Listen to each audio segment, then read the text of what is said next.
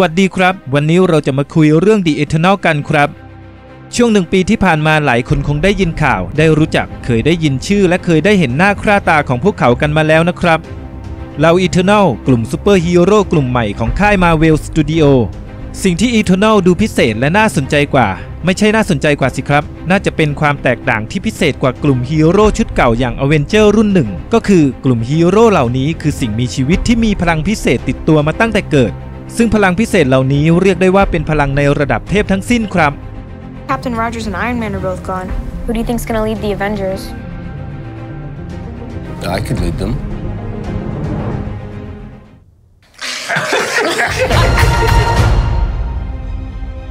ก่อนอื่นเลยผมขอเล่าที่มาของ Eternal แล้วเรื่องราวพื้นฐานของพวกเขาก่อนนะครับ ตามเนื้อเรื่องคอมิก พวกเขามีจุดกำเนิดมาจากแหล่งเดียวกันกับมนุษย์ ก็คือกำเนิดโดยเทพเจ้าของจักรวาลที่ชื่อเซเลเชียล สิ่งมีชีวิตสายพันธุ์ที่เก่าแก่ที่สุดในจักรวาลมาเวล ในยุคก่อนประวัติศาสตร์ Celestial ได้มาเยือนโลกและจับมนุษย์วานรมาทดลองด้านพันธุกรรม จนทำให้เกิดสิ่งมีชีวิต 3 เผ่าพันธุ์ คือ 1. human มนุษย์ธรรมดาธรรมดาที่เหล่า Celestial ได้ทิ้งยีนพิเศษแฝงไว้ใน DNA ของพวกเขา 2. คือ Deviant เผ่าพันธุ์ป่าเถื่อนกลายพันธุ์ พวกนี้จะคล้าย monster ครับ หน้าตาจะน่าเกลียด เป็นสิ่งทดลองที่ผิดพลาดและมีความคิดที่ชั่วร้าย และ 3. สิ่งมีชีวิตที่มีวิวัฒนาการถึงขีดสุด มีพลังดุจเทพเจ้าและอายุยืนยาวอย่างอีเทอร์น l นับตั้งแต่กำเนิดอีเทอร์น l ปลีกวิเวก เรียนรู้ชีวิต และพัฒนาพลังไม่ยุ่งเกี่ยวกับมนุษย์และ Deviant บางกลุ่มก็ออกไปตั้งรกรากยังดวงดาวอื่นๆ ส่วนพวก Deviant ที่มีวิวัฒนาการ และพละกำลังเหนือกว่ามนุษย์ นั้นได้ระรานข่มเหงมนุษย์ผู้อ่อนแอ และมีวิวัฒนาการด้อยกว่า พวกมันทะนงตนไม่สนหน้าอินทร์หน้าพรหมหรือแม้แต่หน้าของ Celestial ผู้ให้กำเนิดที่ได้กลับมาเยือนโลก แล้วไอ้พวก Deviant นี่แหละครับ ที่ดันไปท้าทายต่อสู้กับ Celestial จน Celestial ได้ทำลายดินแดนของพวกมันให้จมสู่ก้นทะเลลึกจากนั้นอีเทอร์น l กลุ่มที่เมตตามนุษย์ก็ได้กลับมาใช้ชีวิตร่วมกับพวกมนุษย์ครับ และแนะนำสอนวิทยาการต่างๆ ให้กับมนุษย์ พร้อมกับเฝ้าดูแลมนุษย์ตั้งแต่นั้นเป็นต้นมา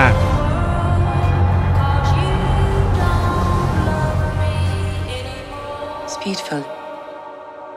isn't it? นั่นคือที่มาที่ไปของ Eternal ฮีโร่พลังเทพในเนื้อเรื่องฉบับคอมิก แต่ในตัวอย่างล่าสุดที่เพิ่งถูกปล่อยออกมา ดูเหมือนว่าพวกเขาโดยเฉพาะ Eternal ทั้ง 10 คนนี้ จะไม่ใช่ Eternal ที่กำเนิดบนโลกมนุษย์โดยตรง เพราะในตัวอย่างนั้นเอเจกผู้นำกลุ่มได้บอกว่ากลุ่มของพวกเขาเพิ่งได้มายังโลกเมื่อ 7,000 ปีก่อน เพื่อปกป้องมนุษย์จากเหล่าดีเวียน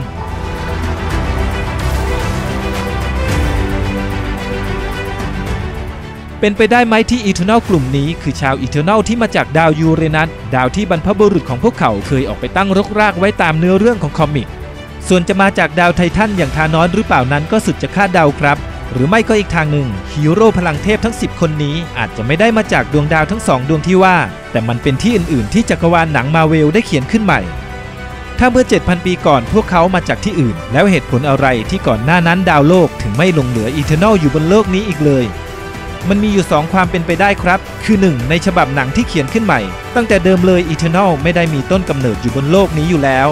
หรือ 2 พวกเขากำเนิดพร้อมกับมนุษย์และ Deviant นี่แหละครับ แต่หลังจากที่ Celestial กำราบ Deviant แล้ว Celestial ก็ให้ Eternal ไปอยู่ที่ดาวดวงอื่นทั้งหมด เพื่อให้พวกมนุษย์เติบโตเรียนรู้พัฒนาชีวิตด้วยตัวเอง เมื่อกาลเวลาผ่านพวก Deviant ที่ยังแอบแฝงหลบซ่อน ปรากฏตัวทำร้ายมนุษย์ Celestial จึงได้ส่งพวกเขาทั้ง 10 คนมาต่อสู้กับ Deviant และคอยปกป้องมนุษย์อยู่อย่างลับๆ จนกระทั่งการดีดนิ้วคืนสรรพชีวิตครึ่งจักรวาลของ Professor Hulk ทำให้การหวนคืนชีวิตอันจำนวนมหาศาลนั้น เป็นการจุดระเบิดพลังที่มากพอที่จะปลดปล่อยมหันตภัยแห่งกลียุค กลียุคที่ Ajak หมายถึงนั้นคืออะไร อาจจะเป็นเหล่าพวก Deviant ใต้มหาสมุทรที่ฟื้นกำลังขึ้นมากันอีกครั้ง หรือไม่อาจจะเลวร้ายไปกว่านั้นครับ เพราะคำว่ากลียุคที่ว่าอาจจะเป็นมหันตภัยที่มีระดับพลังทำลายล้างเทียบเท่ากับพลังของ Celestial เลยทีเดียว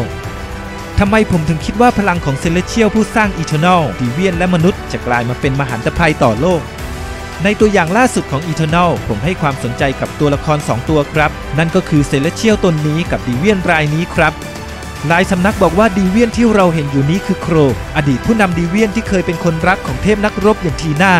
แต่ผมว่าดูจากโครงหน้าและสีผิวแล้ว Deviant ที่เราเห็นอยู่นี้ก็มีส่วนคล้ายกับ Ghaurดีเวียนนักบวชไสยเวทลึกลับผู้มักใหญ่ไฟสูงมากกว่าครับ ถ้าออกเสียงชื่อเกาผิดก็ขออภัยด้วยนะครับ และถ้าใครรู้ว่าอ่านออกเสียงแบบไหนช่วยคอมเมนต์แนะนำใต้คลิปด้วยนะครับ Five years ago, Thanos erased half of the population of the universe. The sudden return of the population provided the necessary energy for the emergence to begin.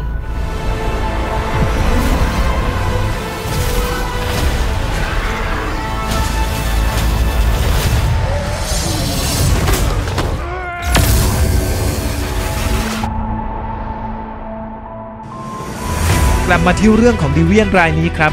หากนี่เป็นโครจริง ซึ่งมีแนวโน้มสูงมากที่จะเป็นโคร นี่จะเป็นการดีไซน์ตัวละครภาพยนตร์ที่แตกต่างจากคอมิกมาก ๆ เพราะคนในคอมิกนั้นจะมีสีผิวเป็นสีแดงครับ และมีดวงตาแค่ 2 ดวง ถ้าจะให้คิดแบบซับซ้อนบียอนขึ้นไปอีกเลยก็คือแบบนี้ครับ ผมว่านี่เป็นการดีไซน์ที่ผสมผสานกันระหว่างโครกับเกาครับ โครงหน้ารูปร่าง นิ้ว และสีผิวโดยรวมจะออกไปทางเกาส่วนสีแดงที่แซมเข้ามาตามร่างกายกับสัญลักษณ์ตรงหน้าผากน่าจะเป็นส่วนที่ได้มาจากโคร รูปทรงดวงตาเหมือนเกาครับ แต่การมีสีดวงตานี้มันก็น่าจะหมายถึงคนสองคนในร่างเดียว เพราะตามประวัติแล้วเกานั้นจะเป็นคนที่ควบคุม และอยู่เบื้องหลังโครในการคิดขโมยพลังของ Dreaming Celestial ร่างที่เราเห็นนี้อาจจะเป็นร่างรวมของเกาที่เข้ายึดร่างของโครอีกทีก็เป็นได้ครับอ้อกอร์นั้นมีความสามารถในการควบคุมจิตใจ และอ่านรหัสพันธุกรรมของสิ่งมีชีวิตได้นะครับ แม้ Kro นั้นจะมีรหัสพันธุกรรมที่ลึกลับที่สุดในหมู่ Deviant ก็ตาม แต่ในฉบับหนังมันก็ไม่แน่ Ghaur อาจจะมีวิธีการรวมร่างเข้ากับ Kro ก็เป็นได้ You can't protect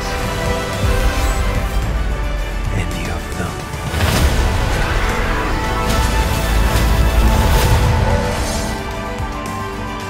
นั่นคือเรื่องราวที่อาจเกิดขึ้นในส่วนของตัวร้ายที่ได้เห็นจาก trailer ครับ ส่วนสิ่งอื่นๆที่เราเห็นจากตัวอย่างนี้ ส่วนใหญ่ก็เป็นการเล่าโครงเรื่องโดยรวม การบอกประวัติที่มาที่ไปว่าทำไมพวกเขาถึงไม่เข้าไปแทรกแซงสงครามของ Thanos ส่วนจุดที่ทำให้ตื่นตาตื่นใจที่สุดใน trailer นี้ ก็คือการโชว์ skill พลังของ Eternal แต่ละคนที่ทำให้ผมคิดจินตนาการไปเองได้ว่ากำลังได้ดูซูเปอร์แมน collab กับ Captain Marvel อยู่เลยทีเดียวครับ ครับ ทั้งหมดนั้นก็คือการพูดถึงและคาดเดาสิ่งที่อาจเกิดขึ้นในหนังจากที่ได้เห็นตัวอย่างล่าสุดนี้นะครับ สิ่งที่เราคิดอาจจะไม่เกิดขึ้นในหนังเลยก็ได้ แต่ก็นั่นแหละครับ เราได้คาดเดาพูดคุยแลกเปลี่ยนความเห็นกัน เพื่ออัธรสก่อนดูหนังกันนะครับ เท่านั้นก็มีความสุขแล้วจริงไหมครับ สุดท้ายนี้นะเดี๋ยวมีเสื้อขายครับ เสื้อ The Final Cut หากคุณคุณจะกรุณาสนับสนุนช่องอ่านรายละเอียดการสั่งซื้อใต้คลิปนี้ได้เลยนะครับ